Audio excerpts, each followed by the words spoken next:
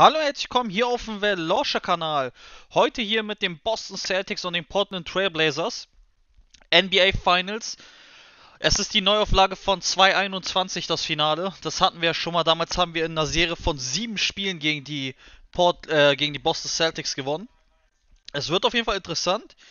Es wird auch schwierig, muss man ganz klar sagen. Die Celtics waren im letzten Spiel hatte ich, hatte ich das ja irgendwann mal im Spiel gesagt. Ich habe das Gefühl, ich gewinne das Spiel relativ safe und dann habe ich doch noch verloren. Das heißt, auf jeden Fall sollte man die Celtics nicht weiter unterschätzen. Beziehungsweise überhaupt nicht unterschätzen. Und ja, hier sind wir in der Celtics Arena. Die wollen natürlich diese Rache. Also ich meine, das kann ja jeder verstehen, wenn du die NBA Finals knapp verlierst. Damals eben in äh, Game 7 erst. Dann willst du diese Rache. Ob sie die kriegen, ist was anderes. Aber nun gut, wir schauen mal. Auch hier schöne Animation natürlich. Die Celtics haben Bock. Aber wir haben natürlich auch Bock.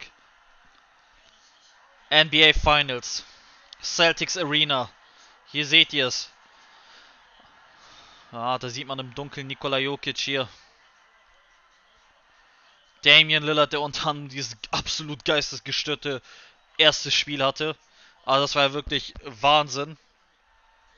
Kemba Walker, Jalen Brown. Die haben alle Lust. Die haben alle Lust. Die Aufstellungen. Walker, Brown, Graham, Nance Jr. und Thompson gegen Lillard, Harris, Daytona, Outlaw und Jokic. Und wir gehen direkt über zum Tip-Off. Wir gehen direkt über zum Tip-Off. Der Referee oder die. Wie, ja, auf jeden Fall gewinnen wir den Tip-Off. Wie nennt man eigentlich einen weiblichen Referee? Heißt es trotzdem der Referee oder die Referee, bla bla bla, Rin, keine Ahnung. Ich bleib bei der Referee, ist mir egal. Ähm, und ja, konzentrieren wir aufs Spiel. Jokic stellt da den Block. Na, Daytona war da relativ gut. Und oh, mit seiner Länge konnte er da trotzdem nicht scoren. Wurde er gut gestört. Jetzt die Camber Walker. Camber. Foul. Und macht die Punkte. Okay. Also läuft nicht von Anfang an gut für uns. Bitter. Sehr, sehr bitter natürlich. Hier sehen wir es.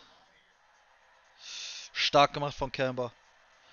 Warum kommt bei den Freiwürfen eigentlich seit neuestem immer diese Draft Music?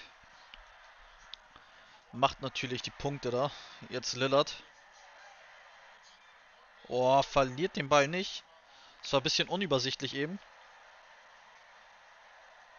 Lillard zieht da ganz einfach davon und dankt ihn rein. Graham kann da nicht mehr helfen. Keine Wiederholung, okay. Mr. 71 Punkte in den NBA Finals. Äh, neuer Rekord natürlich damit gewesen. Und Lillard hier mit den... Ah, fast hier. Also ich weiß gar nicht, wie viele Fast-Steals Lillard allein in dieser Serie jetzt schon hatte. Thompson gegen Jokic, jetzt Brown. Schön gespielt auf Nance. 5-2 für die Celtics. Lillard. Ah, fällt da nicht rein. Schade. Aber hat die Chance von der Freiwurflinie. Auch wenn die Fans buhen. Drei Punkte für Lillard. Und auch für uns. Beide Freiwürfe ganz, ganz souverän reingemacht. Jalen Brown jetzt. Oh, das geht so einfach eigentlich. Der ist nicht drin, Gott sei Dank. Walker wieder an der Linie auf jeden Fall. Das zweite Mal schon in diesem Spiel. Schauen wir. Beide drin. Lillard am Ball. Lillard auf Jokic. Ganz einfaches Ding für Nikola Jokic. Thompson ist ja überhaupt nicht mitgekommen. Jetzt Camber Walker. Camber Walker.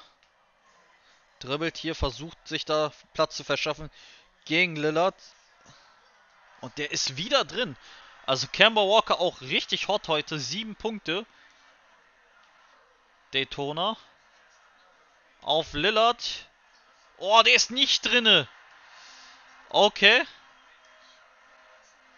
Graham gegen Daytona jetzt. Jetzt muss Daytona seine Defense-Qualitäten zeigen. Walker jetzt. Sie gehen natürlich weiter über Camber. Aber kein Punkt. Diesmal keine Punkte. Daytona Mitteldistanz kann er natürlich. Sehr schön. Camber Walker hier wieder am Ball.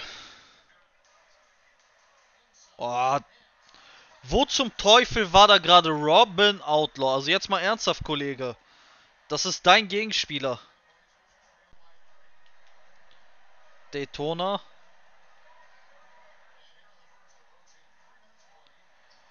Daytona jetzt, ja. Der ist körperlich stärker. Schöne Drehung. Macht ihn nicht rein, aber Jokic ist ja da. Jetzt wieder Daytona. Schön gemacht. Ja, das geht zu einfach. Das merkt auch Brad Stevens. Das wird ihm nicht gefallen, dass der Daytona so einfach punkten darf. 10 zu 11 auf jeden Fall sehr, sehr eng. Hier im ersten Viertel, hier sehen wir Horton Tucker. Shermit jetzt auch mit dabei, unter anderem auch bei uns Curry. Also auf jeden Fall, Rotation ist da. Nance. Traute sich nicht, den Dreier zu nehmen. Ah, der Floater ging nicht rein. Und jetzt Warren Daytona. Warren Daytona wird da nicht mehr aufzuhalten sein. Oh, Shermit. Wort direkt attackiert von Daytona. Und der hier, ah, beinahe mit dem Stil, aber immerhin Einwurf Celtics jetzt. Knapp an den Stil vorbei für Daytona. Larry Nance auf Corley Stein. Ah, und jetzt hier Hurton Tucker muss gegen Daytona ran. Macht er nicht rein. Und auch hier jetzt kann Daytona natürlich den Speed mitnehmen. Macht die Punkte nicht, aber holt sich den Rebound. Holt sich den Rebound. Oh, der Ball wird ihm fast weggestealt. Hartenstein. Daytona. Fadeaway. Ganz gut gemacht. Ganz, ganz gut gemacht von Daytona. Andere werden da panisch geworden. Er macht's easy. Nicht drin. Der war klar zu kurz. Drei Punkte Führung. Fürs nächste Viertel. Das ist auf jeden Fall schon mal ganz angenehm. Es sieht gut aus. Es sieht wirklich gut aus. Auch weil alle unsere Stars eigentlich soweit ganz ordentlich spielen. Wir brauchen natürlich das Scoring gerade von Daytona und Lillard, aber natürlich muss auch ein Jokic eine Präsenz sein, weil das ist auch immer wichtig. Wenn der Center dir eben keine Rim Protection gibt oder die Big Mans allgemein nicht wirklich gut abliefern, hast du immer ein Riesenproblem.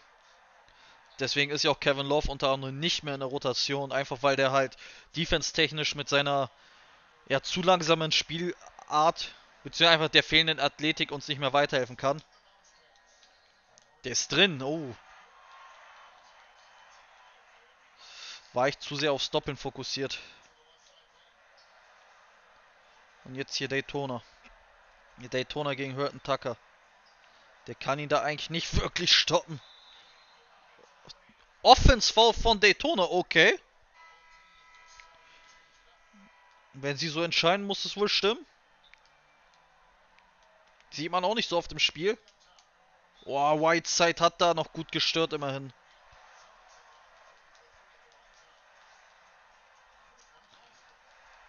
Malik Beasley hat 18,1 Punkte gemacht in der Saison, also auch richtig stark. Für Whiteside auch unglaublich wichtige Playoffs natürlich. Der ist hier wieder richtig reingerutscht. Leider nicht drin von Bertrands, aber ein bisschen Platz war da eben. Und mit ihm kann man sowas halt auch mal versuchen. Horton Tucker jetzt. Whiteside eigentlich der Gegenspieler. Aber den Dreier, wenn er den so schwierig nimmt, dann habe ich damit kein Problem. Wenn er reingeht, dann ist es ein Megawurf. Aber ansonsten geht er halt nicht rein. Harris, ja. Curry. Nicht drinne. Oh, Beasley, da kann Curry halt nichts gegenhalten. Zu einfach. Und jetzt sind es eben vier Punkte, die sie führen. Gefällt mir überhaupt nicht.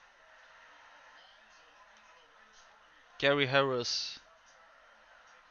Whiteside stellt den Block, viel Platz dann für Harris. Nicht drin. Whiteside hat aber den Rebound. Curry war aber contested der Wurf. Ah, den musste ich eigentlich Whiteside holen gegen Lance. Ist da klar größer, hat eigentlich auch eine super Position, also den Offensive Rebound hätte eben Whiteside holen müssen. Beasley jetzt. Der ist nicht drin, sehr schön. Aber gegen seinen eigenen äh, Teamkollegen kann er sich durchsetzen, der Whiteside. Jetzt Hartenstein. Auf Whiteside. Ja, klares Mismatch hier. Also wenn er die Punkte nicht macht, sehr schön. Und wieder Timeout von Brad Stevens und den Celtics. Wieder Timeout. Dürfte die Rotation natürlich ordentlich ankurbeln. Denk mal, einige Superstars sollten wieder aufs Feld kommen. Ja, Nikola Jokic sieht man ja oben rechts schon. Man sieht hier wieder Ligaführend in Assist-Zahlen. Weiterhin Brockton und Ball natürlich, die sind ausgeschieden, aber äh, Lillard auch richtig krass auf Platz 3. Und das, obwohl der auch noch der beste Scorer ist oder einer der besten. Boah, Camber. Schön geblockt von Lillard. So nicht Minium.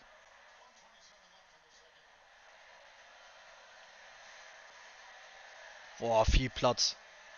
Easy going. Dreier Lillard. Da hat sich Camber ganz schön ausspielen lassen. Von den Moves einfach verunsichern lassen und dann ist es natürlich viel Lillard. Nicht die schwerste Aufgabe, relativ viel Platz, Punkte zu machen. Das war aber stark jetzt von Camber. Gleich mal geantwortet, gleich revanchiert. Oh, Lillard hier wieder viel Platz sich geholt. Boah. Ah, Dribbling-Moves waren ein bisschen too much hier. Oh, Double-Team eben. Jetzt hier Nikola Jokic auf Lillard, nimm den. Nicht drin, aber Jokic ist da und macht die Punkte. So muss das eben sein. Das muss der Big Man eben geben. Der musste auch mal in der Zone sich solche Bälle krallen können in den Playoffs. Weil sonst gehst du hier unter. Oh, Camber. Nicht drin. Und jetzt Lillard. Lillard. Dank den da einfach rein. Mutig. Aber wenn es klappt, wieso nicht? Bam. 9-1-1 aktuell für Lillard. Oh, Camber Walker. Man. Nicht drin. Der Ball aber Offensive Rebound, aber Block von Jokic. Und jetzt hier Lillard. Nein, verliert den Ball. Verliert den Ball im Dribbling. Nicht drin. Halbzeit. Drei Punkte Vorsprung. Drei Punkte Vorsprung. Ja, wenn ich die Halbzeit so nehme, was man daran verbessern muss, muss ich ganz klar sagen, die Turnovers so ein bisschen. Also Lillard hat, ich glaube, dreimal den Ball verloren. Zwei oder dreimal auf jeden Fall. Das muss auf jeden Fall besser werden. Wir müssen noch den ein oder anderen weniger Turnover machen, weil dann könnten wir schon etwas höher führen. Aber nun gut, es sind natürlich auch die Finals. Und momentan sieht es ja gut aus. Es sieht zumindest ordentlich aus. Drei Punkte vorne ist immer besser, als natürlich hinten zu legen. Weisheit mit Velour schon mal wieder hier. Aber nun gut. Wir schauen auch gleich mal auf die äh, Statistiken, da bin ich auch mal gespannt. Hier sehen wir Nikola Jokic, also Toms hier komplett äh, lost gewesen. Ja, Wurfquoten bei uns klar besser. Also dafür, dass wir fast 20% besser treffen, liegen wir mit drei Punkten aber nur knapp vorne. Auch die Rebounds, Assists sind wir besser, lediglich bei den Steals nicht. Aber da hatten wir auch fast zwei Steals. Einer ging dann ins Aus und der andere war dann ganz, ganz knapp. Ich glaube, die gingen sogar beide ins Aus. Aber wenn man sich die Stats so anguckt, dann könnte man sich denken, wir führen hier irgendwie mit 7, 8, 9, 10 Punkten, aber das ist es halt nicht. Es sind nur 3 Punkte. Und die Turnovers werden da ja leider nicht mit aufgezählt. Das wäre eigentlich auch eine, Stat eine Statline, die mich sehr interessieren würde in meiner Halbzeit. Wer hat mehr Turnovers? Das ist eigentlich nicht so unwichtig. Wäre auf jeden Fall auch eine kleine Anregung an 2K, das da eben auch mit einzubauen. Und jetzt hier Camber Walker. Oh, Walker. Könnte da jetzt eigentlich laufen. Nimmt aber den Dreier. Macht sich selbst schwer. Warum auch immer. Lillard, das ging zu einfach. Der ist nicht drin, aber Daytona hat sich den da nochmal gefischt. Jetzt Lance gegen Lillard. Ah, was war das denn für ein Move? Was war das denn? Also Lillard mit Turnover, ein nach dem anderen. Dritter, vierter Turnover schon. Ah, Camber hier. Oh, Larry Nance, der hätte den auch mal nehmen können. Aber jetzt hat ihn Outlaw den einfach mal weggestealt. Daytona ganz frei. War er zumindestens. Jetzt hat er da den Gegenspieler. Das ist aber überhaupt kein Problem für ihn. Leider kein One, aber immerhin Freiwurfchance.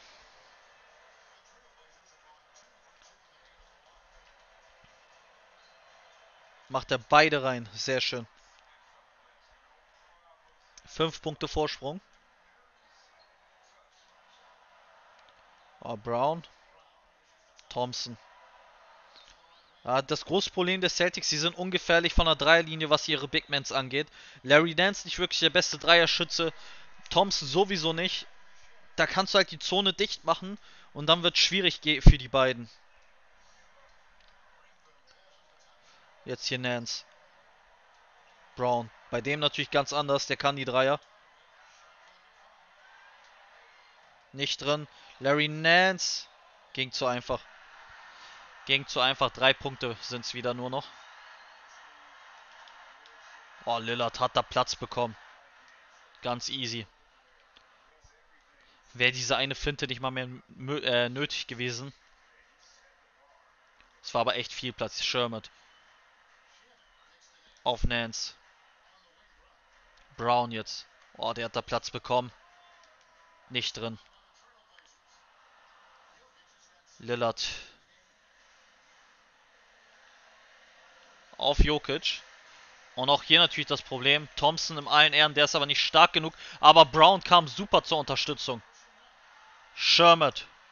Ja, keine Chance mehr für Daytona da ranzukommen. Ah, das war dann jetzt. Das ist dieses, ich will alles ganz schnell machen und krieg's dann nicht geschissen. Schön gestört von Lillard immerhin. Auch wenn sie dann wieder punkten, weil Lance gut nachsetzt. Jetzt aber Jokic. Macht er stark. Muss ich vielleicht auch öfter noch im Post suchen, Nikola Jokic. Ist, denke ich mal, gar nicht so schlecht. Timeout Celtics. Dann nehmen wir die Timeout auf ihn Schluck hier Wasser. Aber es sieht ordentlich aus. Ich werde auf jeden Fall jetzt demnächst ein bisschen Jokic mehr suchen, weil wenn sie mich doppeln, kann ich ja rausspielen. Jokic hat diese Fähigkeiten.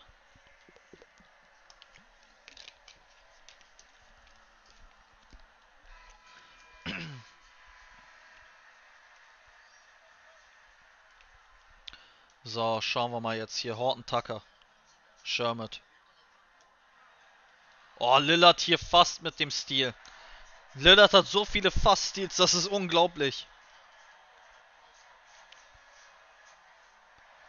Ja, hier Liga-Führenden, was die Punkte angeht, nur 0,1 hinter James Harden. Aber die sind ja auch schon lange ausgeschieden.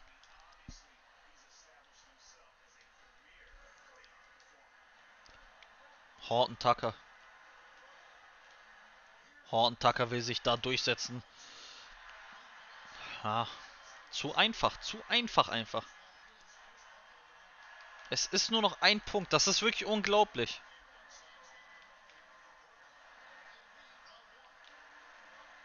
Schön, Lillard.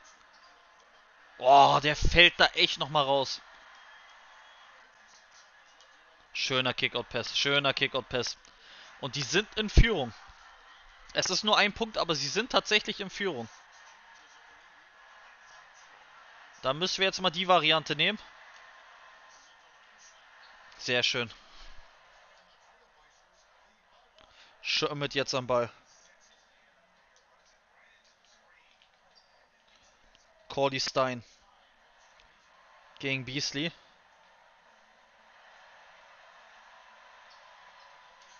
Cordy Stein wird weggeblockt. Das war super gemacht von Whiteside. Jetzt Zeit vorne Uhr nehmen Lillard. Ganz ruhiges Play. Ganz ruhig das hier aufbauen.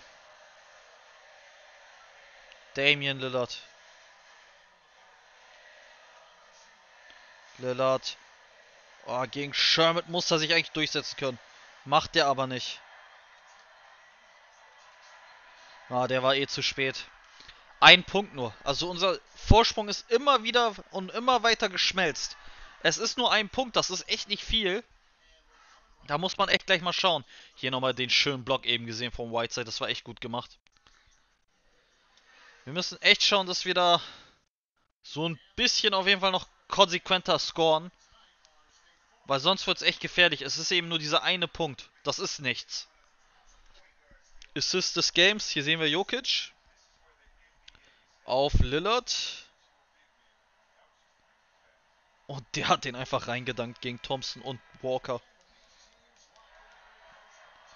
Damian Lillard jetzt.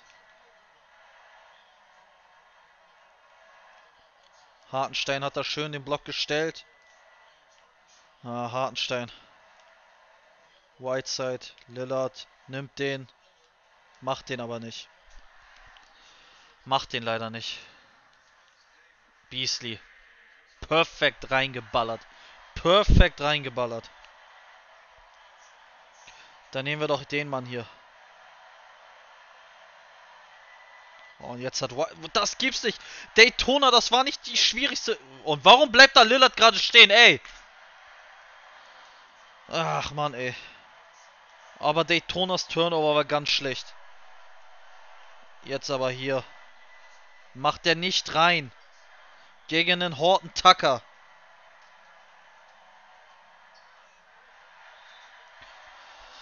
Katastrophe. Katastrophe. Die Celtics wieder hier im letzten Viertel. Das geht so nicht.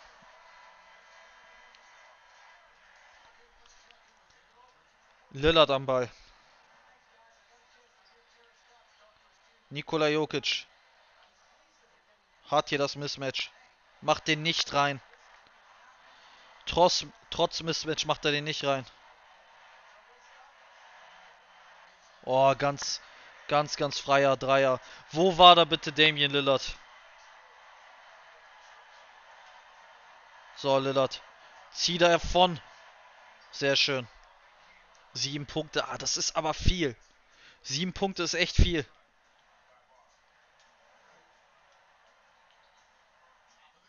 Pah. Zu einfach. Zu einfach. Daytona, äh, Outlaw ist das aber. Lillard frei, mach ihn. Auch nicht. Das war's. Das war der entscheidende Fehlwurf.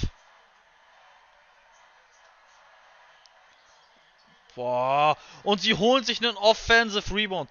Ey, wie viele Sekunden will er noch in der Zone sein? Das waren 23 Sekunden. Noch gibt es die Regel. Sie ist zwar verkürzt worden, aber noch gibt es die Regel. Und Harris mit. Das gibt es nicht. Wir haben verloren.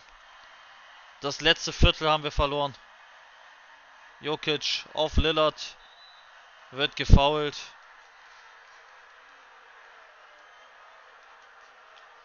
Nimm den. Mach ihn immerhin. Aber es sind 10 Punkte. Ist zwar schöner Dreier gewesen, aber es sind 10 Punkte. Brown. Thompson. Brown. Das ist zu einfach. Unsere Defense ist so grausam.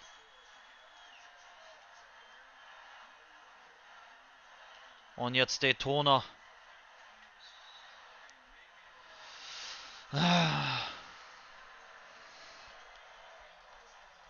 Ist zwar alles ganz nett noch, aber das war's eigentlich schon. 10 Punkte in 1,22 aufholen. Also wenn wir nicht zwei Steals hinkriegen, wird das nichts.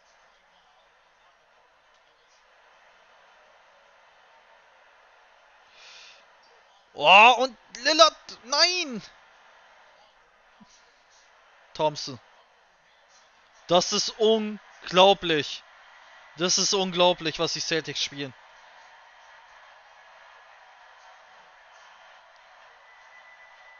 Lillard.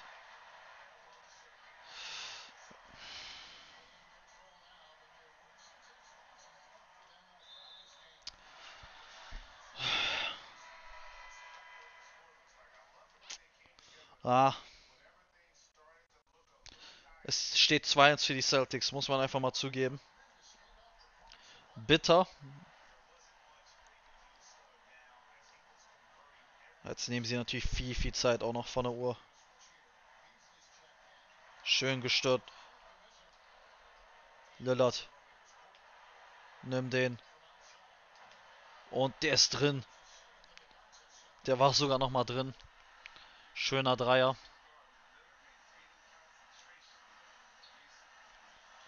Beasley, Nance. Nimmt den Dreier und trifft den einfach perfekt. Crazy. Ich, ihr merkt ja auch, dass ich schon relativ sprachlos bin. Ich meine, jetzt können wir hier in Ruhe runterspielen, das Ganze. Aber es ist hart. Die Celtics, das letzte Viertel haben sie uns komplett zerstört. Muss man einfach sagen. Hier nochmal ein paar Dribbling-Moves von Lillard.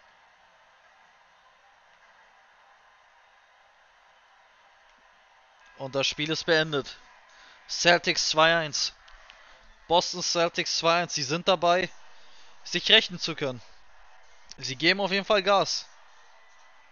Sie geben auf jeden Fall viel Gas. Es ist bitter, wir gucken uns auch gleich natürlich noch die Stats an. Wer weiß, ob das hier nicht schon wieder so eine Serie ist bis Game 7. Das wäre auf jeden Fall ja nicht das, was ich will. Aber nun gut. Aber nun gut, ne?